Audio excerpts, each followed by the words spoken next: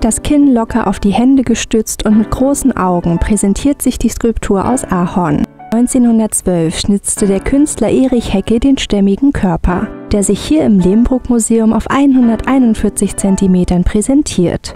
Als Leihgabe des Museums für Kunst und Gewerbe in Hamburg steht sie heute zusammen mit Gemälden, Bildern und Grafiken beispielgebend für das künstlerische Schaffen der Expressionisten.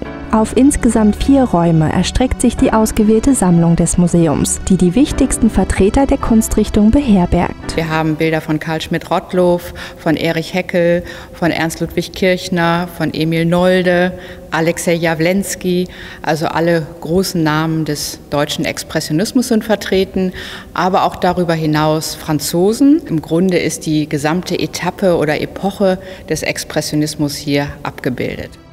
Es ist die Epoche des 20. Jahrhunderts, eine Zeit des Fortschritts, vor allem aber eine Zeit des Umbruchs. Ungemischte Farben, holzschnittartige Formen und die Auflösung der traditionellen Perspektive. Sie sind charakteristisch für die neue Stilrichtung, zu der auch Wilhelm Lehmbruck gehört. Bei den Lehmbruck-Forschern, wie zum Beispiel Dietrich Schubert, gilt Lehmbruck als Expressionist. Also er gilt als jemand, der dem der Epoche des Expressionismus einen wesentlichen Beitrag geleistet hat.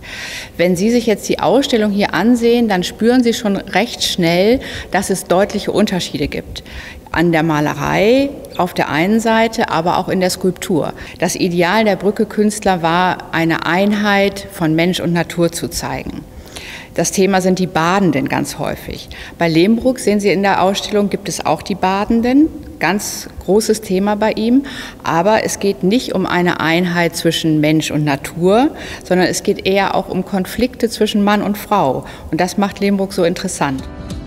Nah und fern, zusammen und getrennt, umschlungen und distanziert zugleich. So wirken die Körper, die Wilhelm Lehmbruck in seinen Bildern präsentiert. Eine Ambivalenz, die sich nicht zuletzt in den roten Wänden des Museums widerspiegelt. Eine bewusste Entscheidung des Kunsthauses.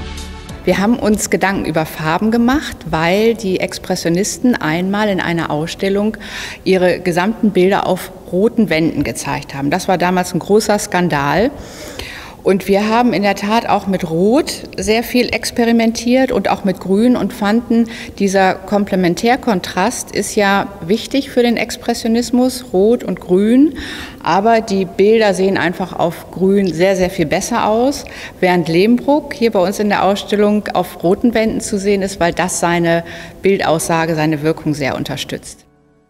Doch egal ob auf Rot, Grün oder Grau, eines machen die expressionistischen Künstler ganz deutlich. Sie alle zeigen unmittelbar und unverfälscht, was sie zum Schaffen drängt.